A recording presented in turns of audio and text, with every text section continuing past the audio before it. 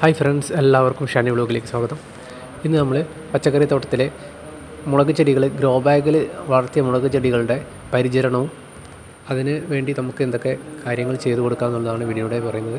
അപ്പോൾ നമ്മൾ മൂപ്പത്തിയ മുളക് ചെടികളൊക്കെ ഗ്രോ ബാഗിൽ വെച്ച് കഴിഞ്ഞിട്ടുണ്ടെങ്കിൽ ഏകദേശം ഒന്നോ രണ്ടോ മാസം കഴിയുമ്പോൾ ചില മുളകുകൾ കേടായി പോകാനും വിളവ് കുറയാനൊക്കെ സാധ്യതയുണ്ട്. ആ സമയത്ത് അത്തരത്തിലുള്ള മുളക് ചെടികൾ നമുക്ക് റീപ്പോർട്ട് ചെയ്തിട്ട് നല്ല വിളവുള്ള രീതിയിലേക്ക് മാറ്റിയെടുക്കാൻ സാധിക്കും. അത്തരത്തിലുള്ള കുറച്ച് മുളക് ചെടികളാണ് ഈ കാണുന്നതൊക്കെ. നല്ല വിളവ് തരുന്ന നല്ല എരിവുള്ള മുളകുകളാണ്. അപ്പോൾ നല്ല മഴ കാരണം അതും കൂടാതെ നമ്മുടെ ഗ്രോ ബാഗിൽ ഏകദേശം ഒരു ആറ് മാസത്തോളം ഈ ചെടികൾ വളരുന്നുണ്ട്. അപ്പോൾ ഗ്രോ ബാഗിലെ വളങ്ങളൊക്കെ ഇല്ലാതാവുകയും ഗ്രോ ബാഗ് കേടാവുകയൊക്കെ ചെയ്ത സമയത്ത് നമ്മൾ റിപ്പോർട്ട് ചെയ്യാൻ വേണ്ടി മാറ്റി എടുത്തതാണ്. അപ്പോൾ ഇങ്ങനെ ഈ ഒരു കണ്ടീഷനിലായിട്ടുള്ള മുളകുകൾ എങ്ങനെ വീണ്ടും നമുക്ക് നിറയെ വിളവ് തരുന്ന രീതിയിലേക്ക് മാറ്റിയെടുക്കാം എന്നുള്ളത് നോക്കാം. അപ്പോൾ അതിനായിട്ട് നമുക്ക് കുറച്ച് വളങ്ങൾ സെറ്റ് ചെയ്തെടുക്കാനുണ്ട്. ആദ്യമായിട്ട് വേണ്ടത് ചാണകപ്പൊടിയും മണ്ണും മിക്സ് ചെയ്തിട്ടുള്ള ഒരു പോട്ടിംഗ് മിക്സാണ് അൻപത് ശതമാനം ചാണകപ്പൊടി അൻപത് ശതമാനം മണ്ണ് എന്ന രീതിയിലാണ് എടുത്തിട്ടുള്ളത്. മുളക് ചെടികൾക്ക് ചാണകപ്പൊടി അത്യാവശ്യമാണ്. ചാണകപ്പൊടി അല്ലെങ്കിൽ ചാണകവെള്ളം നേർപ്പിച്ച് ഒഴുക്കിയൊക്കെയാണ് ചെയ്യാറ്. അതുകൂടാതെ കുറച്ച് പച്ചിലകളും ഉണ്ട്. പച്ചിലകൾ ഷീമക്കൊന്നയുടെ ഇലയാണ്. ഇത് നമുക്ക് ഗ്രോ ബാഗ് നിറയ്ക്കുന്ന സമയത്ത് അതിന്റെ കൂടെ ആഡ് ചെയ്ത് കൊടുക്കാം. ചാണകപ്പൊടിയും മണ്ണും മിക്സ് ചെയ്ത പോട്ടി മിക്സും ഒരു ലെയർ ഇതൊരു ലെയർ അങ്ങനത്തെ ലെയറുകളായിട്ടിട്ട് നമുക്ക് ഈ മുളക് തൈ ചെടി ഇതിലേക്ക് നട്ട് കൊടുക്കാം. ഇതേപോലെ ഒരു മുളക് ചെടി കൂടെ ഉണ്ട്.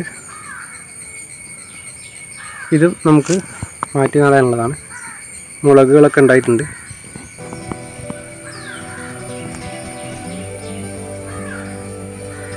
ഒരു നീല പച്ച ഒരു വെറൈറ്റിയാണ് ഇപ്പോൾ ഗ്രോ ബാഗിലേക്ക് നമ്മൾ മണ്ണ് നിറയ്ക്കുമ്പോൾ ആദ്യം തന്നെ കുറച്ച് ചാണകപ്പൊടി മണ്ണ് മിക്സ് അതിലിട്ട് കൊടുക്കുക. എന്നിട്ട് ലെയർ ഇട്ടതിന് ശേഷം നമുക്ക് കുറച്ച് പച്ചില ഇതിന്റെ മുകളിലിട്ട് കൊടുക്കാം. ഷീമക്കുന്നയുടെ ഇലയോ അല്ലെങ്കിൽ വേറെ എന്തെങ്കിലും അഴുകുന്ന ഇലകൾ ഇട്ട് കൊടുക്കണം. ഇല്ലെങ്കിൽ ഉണങ്ങിയ ഇലകളായാലും മതി. അത് ഒരു ലെയർ കൂടി നമ്മൾ മണ്ണിട്ട് കൊടുക്കുന്നുണ്ട്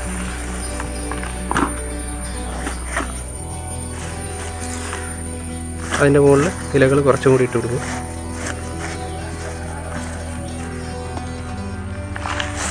അപ്പം ഗ്രോ ബാഗിന്റെ ഏകദേശം കാൽഭാഗത്തോളം നമ്മൾ ഫില്ല് ചെയ്തിട്ടുണ്ട്.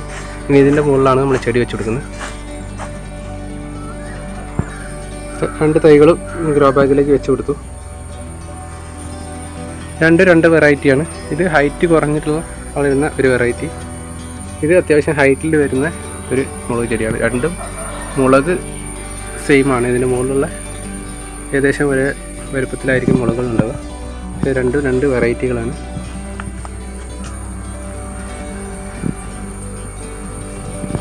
ഇതിന്റെ ബാക്കി ഭാഗം കൂടി മണ്ണ് ഇട്ട് ഫില്ല് ചെയ്യാം.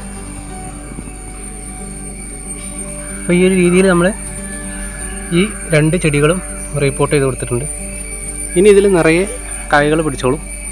പൂക്കളും കായ്കളൊക്കെ വന്നോളും. അപ്പം അങ്ങനെ നമ്മൾ മാറ്റി വെച്ചിട്ടുള്ള ഗ്രോ ബാഗാണ് ഈ കാണുന്നത്. അതിൽ നമ്മൾ പയർ തൈ വെച്ച് കൊടുത്തിട്ടുണ്ട്.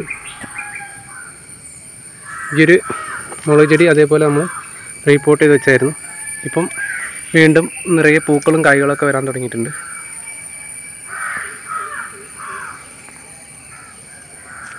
ഒരു മുളക് ചെടി ഏകദേശം രണ്ട് മൂന്ന് വർഷമൊക്കെ നമുക്ക് വിളവ് തരുന്ന രീതിയിൽ നമുക്ക് വളർത്തിയെടുക്കാൻ സാധിക്കും ഈ രീതിയിൽ.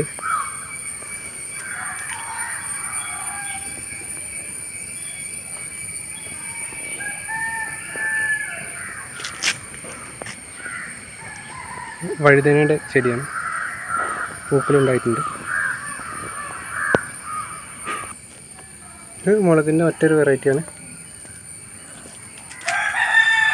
അപ്പോൾ ബാക്കിയുള്ള ശീമക്കുന്നയുടെ ഇല നമ്മൾ ഗ്രോ ബാഗിന്റെ ചുവട്ടുകളിൽ ഇങ്ങനെ ഇട്ട് കൊടുക്കുകയാണ്.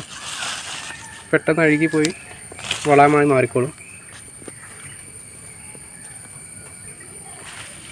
മുളക് ചെടികൾക്കായാലും പയർ ചെടികൾക്കായാലും ഈ ഒരു വളം വളരെ യോജിച്ചതാണ്.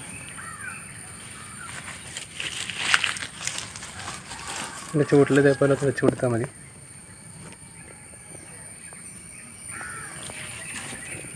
ഇത്തരത്തിലുള്ള കാര്യങ്ങൾ ശ്രദ്ധിച്ചു കഴിഞ്ഞിട്ടുണ്ടെങ്കിൽ നമുക്ക് മുളക് ചെടികൾ കുറച്ച് കാലം നല്ല വിളവ് തരുന്ന രീതിയിലേക്ക് മാറ്റിയെടുക്കാൻ സാധിക്കും. ഒരു ചെടിയിൽ നിന്ന് തന്നെ നമുക്ക് നിറയെ മുളകുകൾ പറിച്ചെടുക്കാൻ സാധിക്കും. വിളവ് കുറവുള്ള മുളക് ചെടികൾ ഇതേപോലെ നമുക്ക് പുതിയൊരു ഗ്രോ ബാഗിലേക്ക് റീപോർട്ട് ചെയ്യുന്നത് ഏറ്റവും നന്നായിരിക്കും. അതിന്റെ ചുവടുവശത്തുള്ള വേരുകളൊന്നും പൊട്ടാതെ തന്നെ നമുക്ക് റീപോർട്ട് ചെയ്യാനും സാധിക്കും. വീഡിയോ അവസാനിപ്പിക്കുകയാണ്. വീഡിയോ നിങ്ങൾക്ക് ഭാരപ്രദമായി ലൈക്ക് ചെയ്യാൻ മറക്കരുത്. പുതിയൊരു വീഡിയോയുമായി കാണുന്നവരെ എല്ലാവർക്കും ബൈ ബൈ